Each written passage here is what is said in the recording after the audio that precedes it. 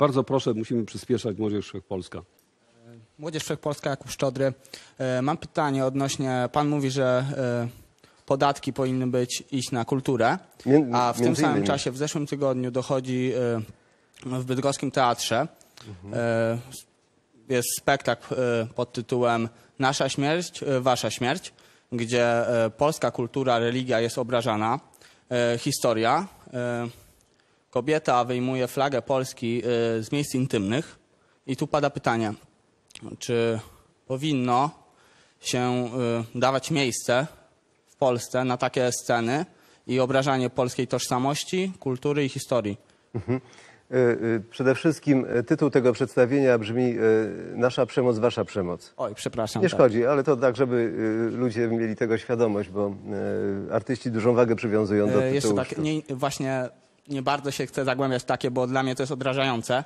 Obrażające moje, y, y, taki spektakl osobiście. On mnie uraża, y, no i atakuje, tak? Mam pytanie do ciebie, ale czy widziałeś to przedstawienie? E, czytałem recenzję i urywek. Nie, nie byłem w stanie. E, w stanie tak, to budzi we mnie takie emocje i atakuje, że Nie, ja, wiesz, ja rozumiem twoje emocje i, e, i wiesz, chciałbym o tym porozmawiać, e, jak to jest w ogóle w tej przestrzeni sztuki i poza nią. Otóż e, ten akt wyjmowania e, z e, e, flagi e, na ulicy byłby niedopuszczalny moim zdaniem. W przestrzeni sztuki tak. Otóż e, e, to jest prawo artysty. Granice w sztuce wyznacza sobie tylko artysta. Wyznacza mu jego świadomość, jego odpowiedzialność, jego system wartości, jego pytanie o sens istnienia, by przywołać raz jeszcze to pytanie, które będzie się tutaj jeszcze pojawiało, jak sądzę. Otóż e, w Polsce właśnie o to chodzi. E, Odpowiadając również panu z, e, z partii Kukiz 15 e, na... Jesteśmy na społecznym i obywatelskim. słucham? Kukiz 15.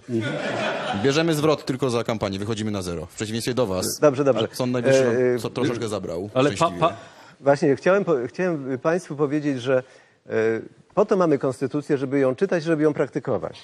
A nasza konstytucja w ostatnim czasie zaczęła być praktykowana i czytana, e, co jest oczywiście zasługą Jarosława Kaczyńskiego, więc można mu za to podziękować w tym, e, w tym miejscu.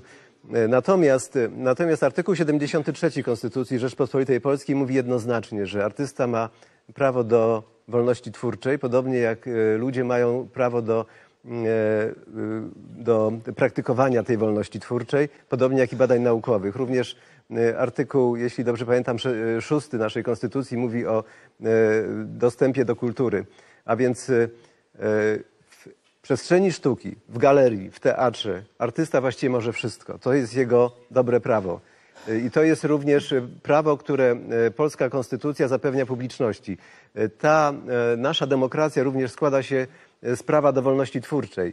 I e, przypuszczam, że to przedstawienie, które e, było pokazywane na festiwalu Prapremier w Bydgoszczy w reżyserii Oliwiera Fri- Frilicza, chorwackiego reżysera, bardzo radykalnego, który widziałem kilka jego przedstawień. One są rzeczywiście drastyczne, są bardzo ostre, ale on tak naprawdę czule myśli o naszej rzeczywistości.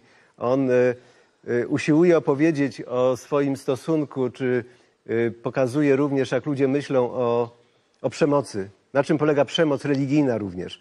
Na czym polega przemoc społeczna, na czym polega przemoc wobec e, kobiety na przykład. Więc te e, wszystkie problemy najczęściej są podejmowane w teatrze czy w kinie. Zwróćcie uwagę na to, że nikt z Was nie buntuje się przeciwko przemocy, która e, idzie z ekranu. Ja uważam, że ta przemoc jest zdecydowanie bardziej prymitywna i wulgarna, kiedy mamy do czynienia z jakimś rodzajem quasi-pornograficznej narracji w, w mediach e, e, elektronicznych. Natomiast e, teatr jest miejscem, gdzie jesteśmy zmuszeni do dialogu. Jeżeli artysta jest odpowiedzialny i chce odpowiadać za świat, musi z nami poważnie rozmawiać. W związku z tym jego sztuka e, ma być dla publiczności, ale także przeciwko niej.